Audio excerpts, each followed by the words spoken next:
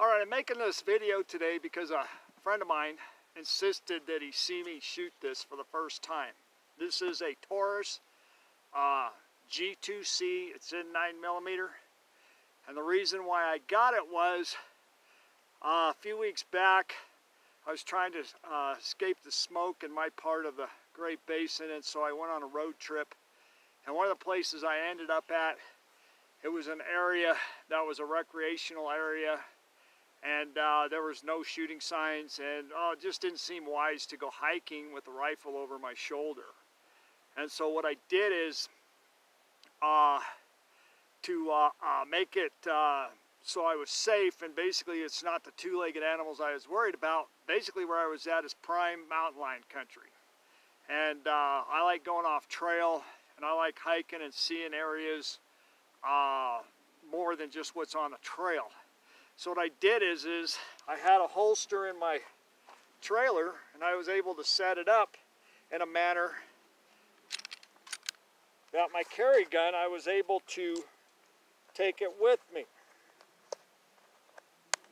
And basically, it's in a, in a place, in a manner that I could get to it pretty good in a hurry. So, when I got back, my carry gun is a little bit smaller, single stack. Uh, I was looking for a double stack, but anyway, I showed up at Cabela's, and the reason why I was at Cabela's in Reno is a friend of mine, William DeFeline, showed up and we were talking on the phone, so he invited me to come and have breakfast. By the way, thanks for breakfast, William. Uh, but when I got done there, I went down over by Cabela's. I figured, you know, if I'm going to be driving a few hours, a couple hours to get to Reno and back, then I might as well make it a good trip. So I went by Cabela's and I asked them in the counter, I got three criterias for a gun. I want lightweight, I wanted uh, uh, adjustable sights, and I wanted it to have a safety on it. And there's like 30 or so guns on the counter there. And uh, he's looking down, I don't have anything you need. And he's looking, he goes, wait a minute. And he picked this one up, and this is literally the only gun that comes with a safety that he had for sale that day. Everything else does not have a safety.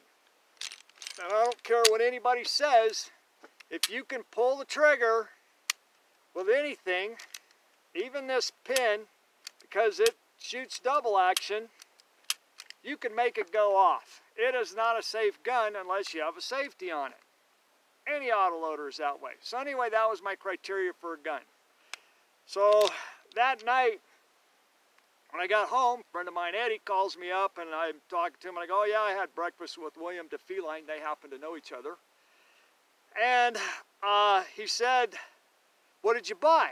So I told him what it was and he just started laughing at me and he started urinating all over the gun. He apparently has one and he does not like it at all. So he wanted me to make a video of shooting it for shooting it for the first time. So what I decided to do, I'd also uh, include in this video what I do when I get a gun for the first time, and especially an auto loader. The, the, the, process that I go through in making sure that I agree that it's a safe to operate gun. Now, I'm not going to do any drop tests or nothing like this. What I go through is, is at home, I take the gun apart, clean it, uh, lube it up, inspect it, make sure everything is good. And then from there, when I come out to the range, and this uh, has to do with years ago uh, when SKSs first started showing up at gun shows. You can pick up the, the, the, decent ones for 40 bucks, and I mean the ones that look like they are beat to hell, you could pick up for 25 bucks. But I started hearing rumors about accidental shootings with the guns. And because of what happened with those, I've applied that to every semi-auto gun that I've ever owned. And even, you know, if it's a bolt action, whatever it is, is it's still you go through the safety procedure. But in the case of a semi-auto, what I do is I stick one round in the chamber, point it down range, and rack it. Make sure it doesn't go off. And the reason why that is, back to the SKS story, back in the day when they first were showing up at the gun shows, and I started hearing about the accidental shootings, there was a thing with people were taking apart, they were cleaning them, but the firing pin apparently would be jammed in it. And so when they closed the bolt, it would slam fire. And of course, if there was had five, six, ten in that magazine, if it slam fire, it took off running. And if it took off running and you don't have a good hold and good purchase on that gun, you are going to uh, have a massive gun failure. And uh, in some of the cases, I heard the gun took off and took off running and went flying backwards because they're hanging on to it in a manner, you know, like this, and they're grabbing the bolt buttstock shear. Well, when it took off running, they didn't have a good enough here, and the gun just took off this way and they got shot in the back. So anyway, this is why I go through the procedure that I go through. Uh, so I'm going to show Eddie here, and the whole idea is because Eddie wants to see what it looks like for the first time when I uh, shoot around. Uh, he wants to see the look on my face because, like I said, he urinated all over this thing. He thinks it's a big piece of crap, and, well, quite frankly, he could be correct. So, here we go. Okay, here we go. One round of the magazine. I'm right-handed, so I will be shooting it left hand the first time.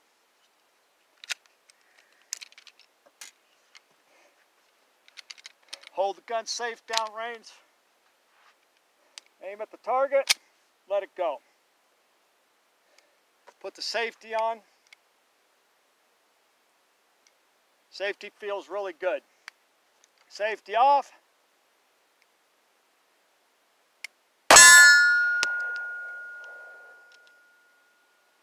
Kind of felt a little interesting. There you go, Ed. But that's what I do with the first round.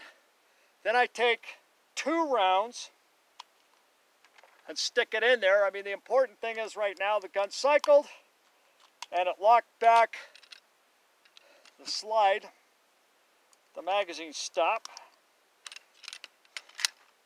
So now I'll go right-handed, see how it feels. Interesting.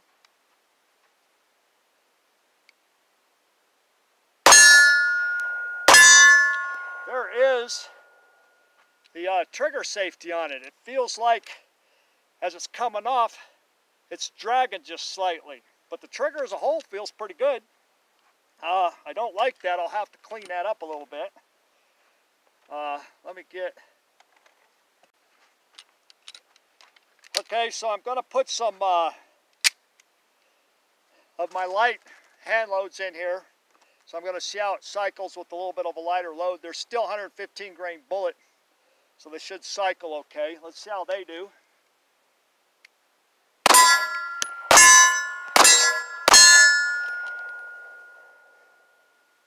Actually not too bad considering I've never held it before. A little right on that target. Fairly dead center, up and down. Uh, that's me. I'm going to have to get uh, used to the sights a little bit.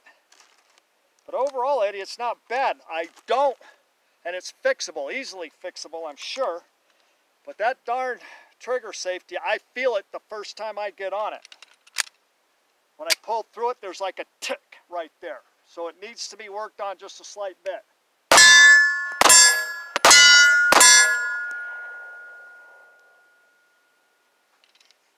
I don't know, Ed.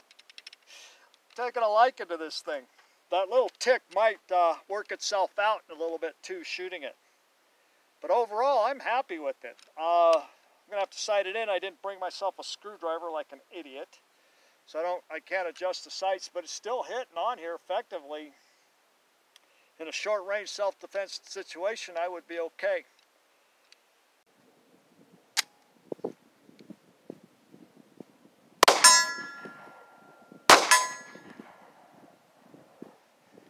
Okay, that was my distance test.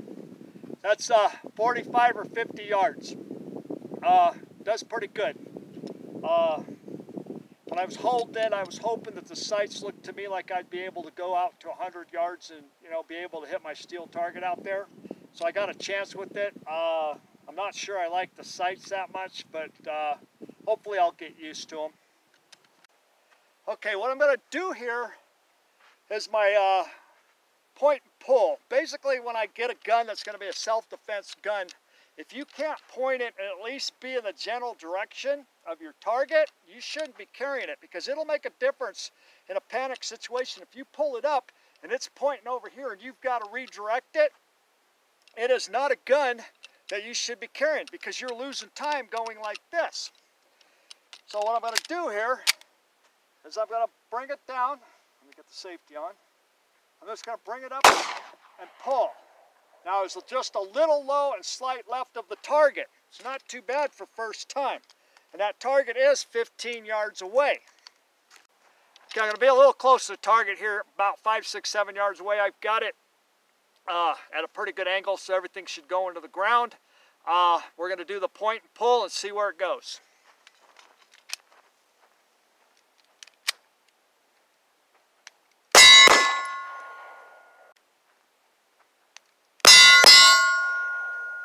Point and pull. I'm really liking this thing, Eddie. Uh, I'm not even feeling that uh, notch in the uh, trigger anymore.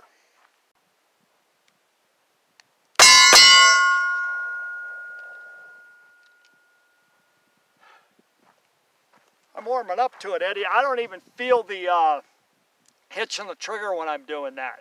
I mean, it just goes pretty clean and the gun's not really moving a whole lot. It's not doing pretty bad.